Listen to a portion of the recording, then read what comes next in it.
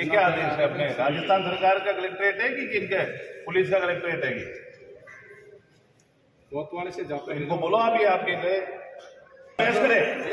किस बात की बहस कर रहे हो आप मेरे से? नहीं क्या मैंने कहा था राजस्थान की पब्लिक नहीं आ सकती? राजसमंद का आदमी अंदर नहीं आ सकता?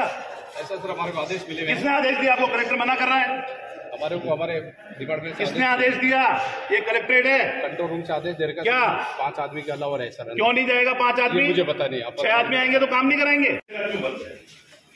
नहीं आप उसको हटवाइए पुलिस वाले को यहाँ से। ये गलत है। मेरे तो तो आप पुलिस वाले को सस्पेंड कराइए। कौन आदमी अपने कलेक्ट्रेट पर लिखाइए? आपको बुलाइए उसको अभी कभी हमको मेरे को रोक लिया। क्या आदमी कलेक्ट्रेट में नहीं आएगा? अशोक गहलोत जी कह रहे हैं जन सुनवाई करो। और आप नीचे खड़े करो कलेक्ट्रेट में। मैंने कौन है पुलिस वाला? लाओ ऊपर बुलाओ। बताइए। किसने आदेश दिया कितने पाँच के लिए बोला आपको? सिटी से बता रखा था सर पाँच आदमी अलाव के लिए अंदर। हमारे कंट्रोल रूम से सर।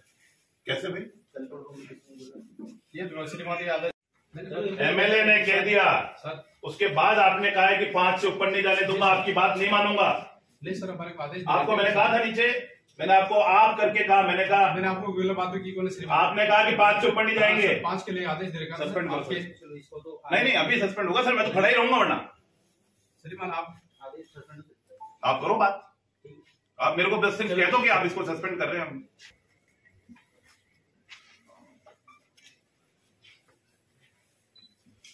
लाइसेंस देना। एक अपनी एक तरीके से कि गन लाइसेंस एक प्रक्रिया है। परंतु उस प्रक्रिया में भी, क्योंकि ये एक देश सेवा का मैटर था, उन्होंने एक बहुत बड़ा काम किया था तो मेरा मानना है कि जब सिपाहियों को गैलेंट्री प्रमोशन मिल गया, और जिन लोगों ने काम किया, उनको अगर उनका गन लाइसेंस का भी नहीं मिलता है तो समाज चाह रहा था कि हम जाके कलेक्टर साहब को दें तो वो सब लोग यहाँ इकट्ठा थे। मैंने मुख्यमंत्री जी ने सबको कहा है कि सारे दरवाजे खुले रखो, राज के सारे दरवाजे खुले रखो, और दरवाजे बंद करने की बात जब हमारी आँखों के सामने होती है और एक पुलिस का एएसआई बिना कलेक्टर के निर्देश के, जो कि आप लोगों के सामने चर्चा हुई, बिना कलेक्टर के निर्देश के एक पुलिस का एएसआई ये गुस्ताखी कर ले तो वो गलत है। और रीज़न ये है कि एक मैसेज जाना चाहिए कि कलेक्ट्रेट में माननीय मुख्यमंत्री जी की मर्ज़ी के अनुसार सब आदमी निर्भीक तौर पे, खुले तौर पे आए। ये नहीं कि जब बीजेपी के एमपी आए, तब तो पीछे से पूरा दरवाज़ा खोल दो आप, और कांग्रेस के एमएलए के साथ सब आते हैं, तब दरवाजे को, चैनल गेट को बंद कर दो। ये जो रवैया है, ये प्रशासन का दुखद था, और एक एएसआई की गलती थी।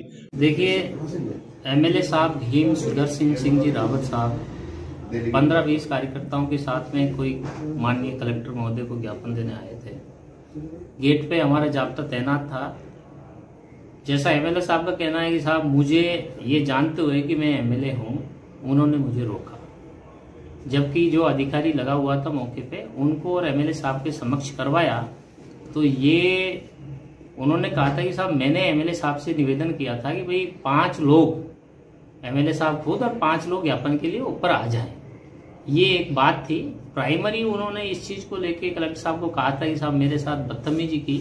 अगर ऐसा कोई फैक्ट आता है तो उसकी जाँच होने तक जो एएसआई अधिकारी लगे हुए थे, उनको श्रीमान एसपी साहब ने निलंबित